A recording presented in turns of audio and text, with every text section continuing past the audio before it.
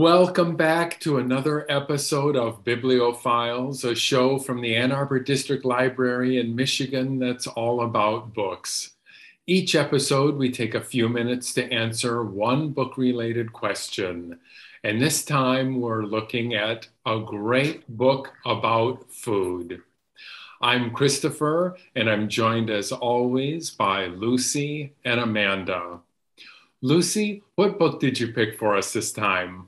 Um, I picked a book called At the Chinese Table. It says it's a memoir with recipes, and this is by Carolyn Phillips. And it is, it's called a memoir with recipes, but it's so much more. Um, it's the story of Carolyn Phillips's life as it begins in Taipei uh, in the 70s. She wants to study abroad and she, she wants to go to Tokyo, but she ends up in Taipei. So um, she starts to learn about the food while she's there. She's always been passionate about food because even within her second year of being there, she says her Western stomach is still in revolt. So she's trying to learn about the food. Um, the second year that she's living there is also when she meets a Taiwanese man named J.H. He is a scholar, but he's teaching English to foreigners, including her. He will later become her husband. And he is also an Epicurean. So he knows a lot about food, a lot about gourmet food. And he introduces her not only to the food he grew up with, um, both of his parents are excellent cooks from different regions in China. Um, but he shows her food all over the place. And she says, deconstructing the layout of China was difficult, but food showed me the way. So she sort of learns the map of all of China and Taiwan through the regions and its food. And she starts to learn and study and practice. And um, she and JH travel all over Taiwan and China, discovering this food from different regions. They dig up old cookbooks. She cooks it all. He introduces her to all these cuisines in remote restaurants. Um, like where some of China's most talented chefs are. They're actually in Taiwan and um, the things she learns there and the things she eats. It's like her descriptions of the food are amazing because she includes a lot of recipes that she cooks, but the, the food that she's encountering in these gourmet restaurants, it's like visually amazingly pleasing. And also there's this sort of like trickery to it a lot of the time. So, or this, it will look like something it's not, you know, like completely different. Um, like it looks like a fish, but it's actually made out of something else, you know, and it's, just, it's her descriptions are, are really cool. And she's learning all of this and learning about the region that it's from and learning to cook it. So she cooks, tries to cook for JH most of the things that he loves. Um, and he, like, he's requesting this pig's head dish that takes days. So she keeps putting it off and putting it off. She's learning and learning all these things finally she cooks it. There's a chapter about this. I mean this is a process that takes days to cook this pig's head. But the toughest challenge that she has is um, jh's parents. So she meets them when he's still just her boyfriend and they're very kind of cold to her and you know she's not uh, taiwanese she's not chinese and she starts to cook for them. They're unsure about it but she warms um, his mother, who will soon be her mother in law. She warms her over with some pork buns. His father is a much harder sell. He's sort of this gruff World War II vet. He's quiet, um, but eventually they form this really interesting relationship. He starts to teach her Hakka cuisine, which is the cuisine uh, from his culture. So they cook side by side. And through all these travels, she is convinced that there are 35 distinct regions in China and Taiwan. So 35 different regional cuisines, whereas like the typical hypothesis is that there are five regional cuisines in China. So she sets out to write this compendium.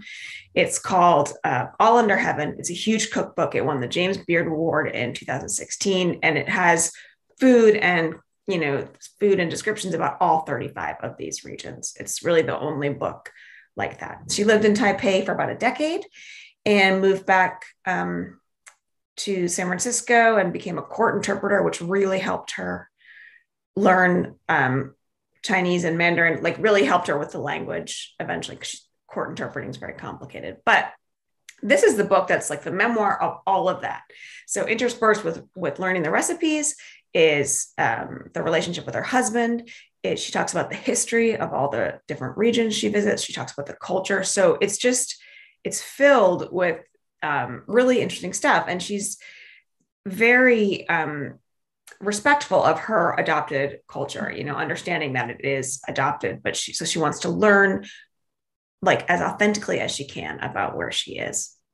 And the recipes are um, really cool in here. I definitely want to try and make some. There's, there's also some illustrations she does.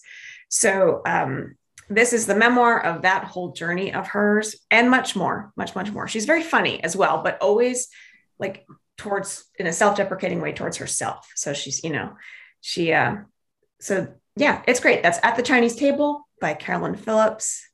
And that's my book about food. Mm-hmm. Amanda, what did you pick? Uh, so the book I chose has way less food. The book I chose is a teen novel called Let It Snow, and it is by John Green, Maureen Johnson, and Lauren Myracle, and they are three prolific um, authors in the teen genre. And it's called Let It Snow. It does take place at Christmas time, and it is a teen holiday romance. So if that doesn't is that not something you normally would read or get into? Um, you can skip it, but if you like it, this book is a great fit for those for the teen holiday. And I personally don't fall into the rom com loving, especially like teen romances. But this one I was drawn to it because I like um, John Green's writing. And so I read it. And there are three different stories written by the three different authors. And they all intersect in some way. And I really like it when stories, and even if it's just one book written by one author, I like it when there are separate pieces that come together. And these are three separate stories, but in each of them, there's overlapping characters or um, an overlapping setting, which brings me to the food part. The overlapping setting in the stories is the Waffle House.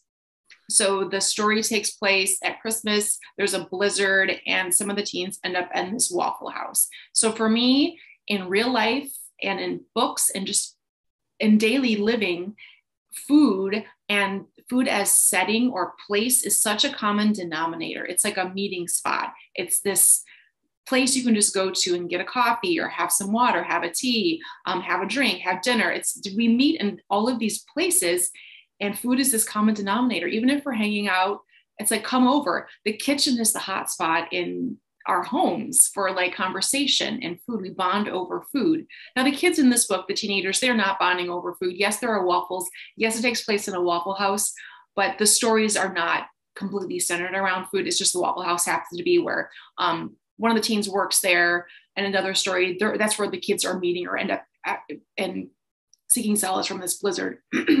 so in one of the stories that there's a teen who's um, going.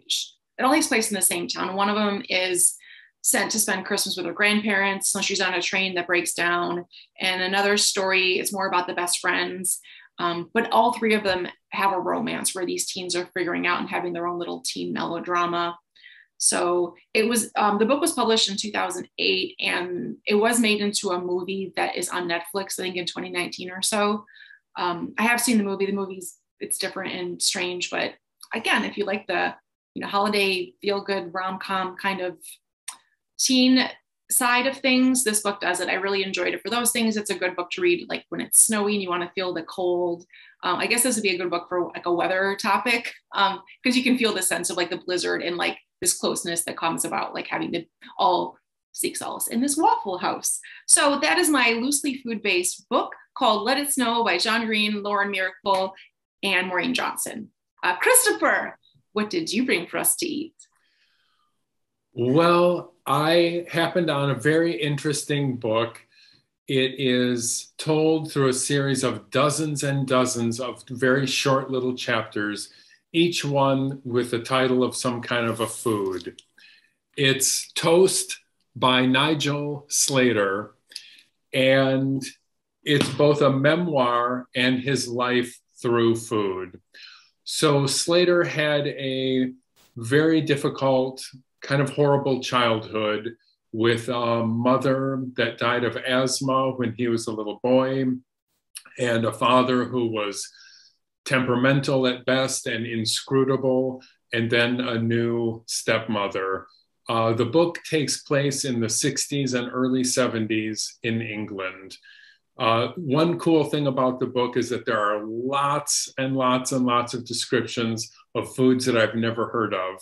all kinds of brands, and my favorite English food, hundreds and thousands, which is English or British English for what we call sprinkles. Uh, so that's a really fun, kind of light part of the book. But the book is kind of heavy. Um, each chapter is about something food related in his life, but it often ends with something really strange happening or something sad happening. And then the author withholds all the information that the reader is so desperately looking for, like, why did this happen? What's going on behind the scenes? Uh, you know, what does it all mean? And it gives you the sense of being a child in an adult's world where all the decisions are being made and you have no volition or ability to affect anything, and you can't even ask why this is going on.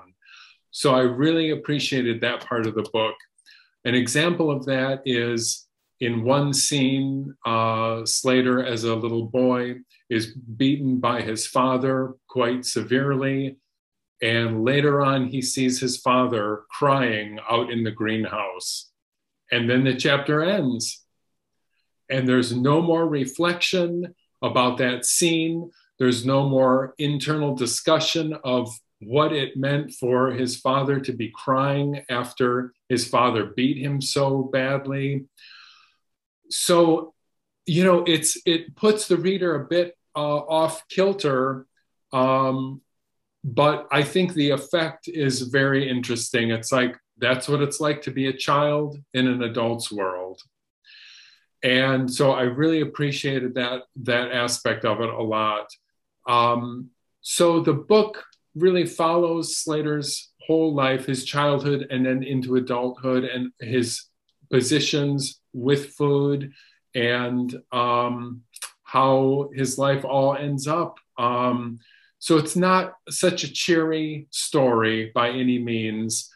Uh, and I didn't always sympathize with the author which was also interesting for me. I thought that all these childhood stories would make me just purely sympathetic to him, but sometimes he's kind of rascally and kind of um, self centered, like when he complains about having to do the washing up after every meal. It's like, you know, uh, lots of kids have lots of chores, and I suspect he comes from a slightly different class than I did growing up. Um, so, anyway, it was very interesting.